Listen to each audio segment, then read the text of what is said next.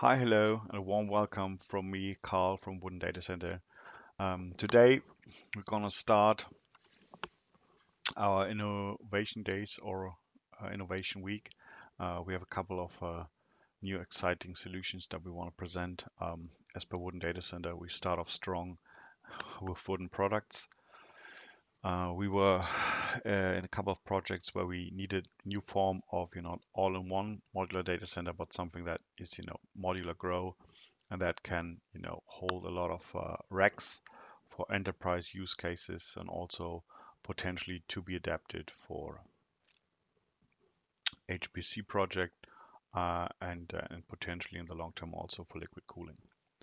So we want to introduce our CLT uh, solution, which we co-develop with our development partner, which we are going into a little bit later in detail today. I'm going to talk about um, two variants. One is a 300 kilowatt solution, and the other one is a 100 kilowatt um, solution. So this is things that we have now uh, ready developed and are also ready to deliver uh, at scale. That is uh, the important part for for those uh, for those two two data centers. The physical hull is, uh, is, is is made from wood and is split up into modules of three meters width, so that it is easier for us to uh, to transport it and to uh, quickly build them out and to to uh, able and we are able to deploy it. The, they follow a relatively similar structure. We have the white space here on top. We have an entrance and a small storage room that has a central galley, you know, into into the white space. Uh, and the tech room here is a, a two UPS configuration, fire protective gear, uh, main distribution, we separate it into, break it out into two tech rooms so that we are tier 3 uh, enabled. The tech room is uh, cooled via the hot and cold air inlets out of the uh, the main, you know, air handling units on on top. So that saves us a lot of uh, a lot of piping. And we have in the 100 kilowatt configuration, we have uh, 18 racks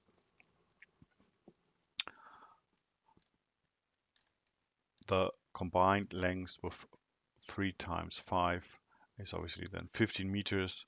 The modules are 5.5 meters uh, wide and they uh, they are uh, 3 meters 20 internal height which allows us to place relatively high racks those are 800 millimeter wide racks with 52 height units um, and we choose a double configuration row that has you know heat um, or hot and cold air containment so that we can ensure very efficient operation that's the that's the thing that we that we try here that concept also follows to the larger concept uh, which is 40 racks of the same rack form factor with one tech room, which is for an enterprise data center that is potentially to be built out. So we have one tech room per, you know, um, complete module. So the, the the potential is to grow that out, place second one, you know, side by side, and have with two tech rooms then also the ability to go for tier three or uh, you know high availability whatever you know certify you uh, you want here. Now that's that's the real nice thing that we can also go to a higher certification when we mirror the tech room also just to the other side the three uh, kilowatts uh, 300 kilowatt load here is uh, is handled by an N plus one air cooling configuration. And um, with that, we are very confident to deliver very efficient operations and the minimum loss possible in, in CLT construction uh, or an embedded, uh, an embedded CO2. Thanks so much. Um, stay updated for the other details. So that's so far for the data centers. Let me now just quickly jump into the module partner. So this is uh, the company Derix with which we developed this um, these solutions. They have their own XLAM or CLT production, and they also have their uh, modular design of building building out uh, solutions. So they build their own modules, they build houses, they build hotels. Um, this is how those modules look like when they are deployed on the on the workshop. Uh, they have a lot of experience with those kind of uh, solutions, and they are confident in being just being able to build quicker with uh, with modular with modular wood. They can go up to length up to 18 meters, preferably under 13 meters um, 50, uh, preferably under you know 3 meters or 3.50 meters um, and heights up to 4 meters.